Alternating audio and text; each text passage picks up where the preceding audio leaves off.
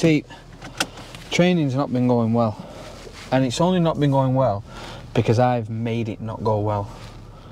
Um, last week, I ran 69 kilometres, which on the face of it looks good, but you know, you can run 80 kilometres every week, and if you've got no specific structure to it, then you're not going to get the time in a race you want if you're just running aimlessly, and that's what I was doing basically.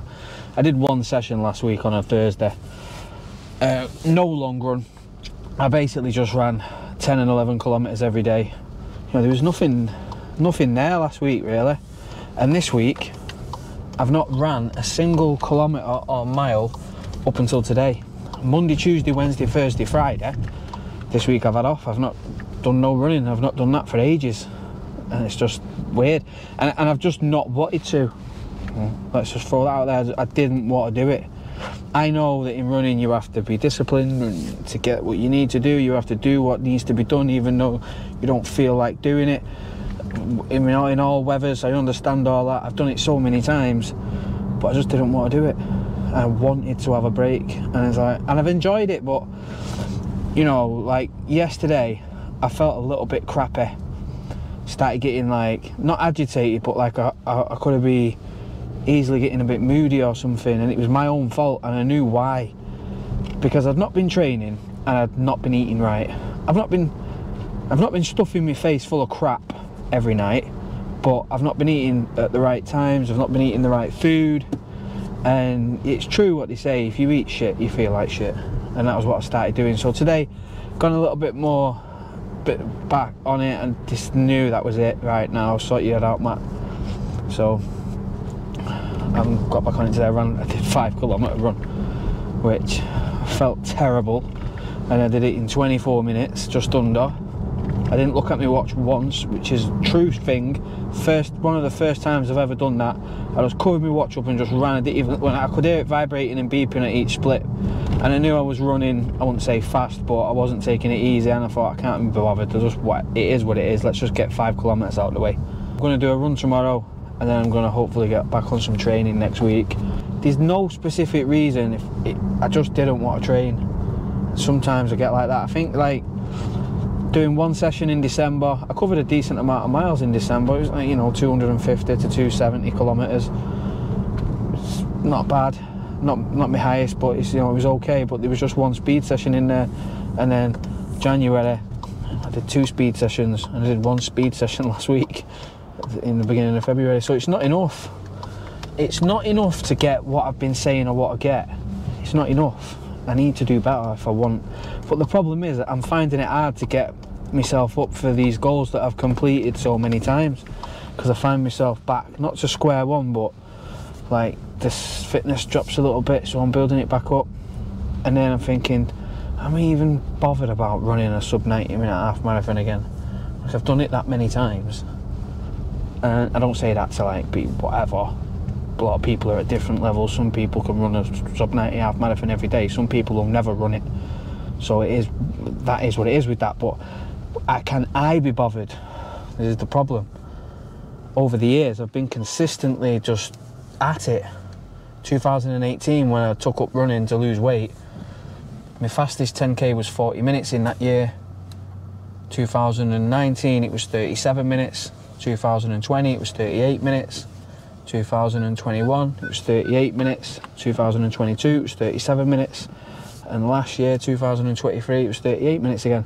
So I've been consistently there at them sort of levels. And my half marathons I'd say have started when in 2018 when I ran my first one in a race. I was abysmal at the start of the year but you know like close to 152 hours. And then I got to like 135 and then that year topped out 2018 I think I ran 128.59 2019 uh, around 121. 2020, I didn't run a half marathon, but I think it's usually it's stacked roughly around about 123 to 125, and then my marathons have averaged out around about over the years between three hours 30 and three hours six. So I need a different goal. I need to sort my head out and get training again. But I wanted to put the video on, this different video from what I'm used to doing just because I know people watch my videos and I know sometimes you can put shit on when things are going well. And I'm not saying things are going bad. I like my life, I like training, but I've just decided I just can't be asked at this minute and I've took a week off, which affects things, but it's just part of fucking journeys, isn't it? Just different stages of where you're at. Work's been okay, I've had nice shifts in work. Not like I've been working shifts that have made it, you know, insociable to go training. I've just, honestly, I've just felt like I can't be bothered. And you know what? It's, I've actually liked it. It's not like I'm, I'm a professional athlete and I'm going to lose contracts here and there, or sponsors are going to drop me, or, you know, people are sending me free stuff and I need to keep posting about these free things and making content, or I'm not going to get paid. It's not like that. Just took a week off, you know. Worst things have happened at sea but I am going to get back on it next week. I've started today with 5k, plus I did 2.6 kilometre run with Kay. She did really well. Um, Kay's doing Kay, Kay's doing Couch to 5k, and I'm proud of her. She's been doing good.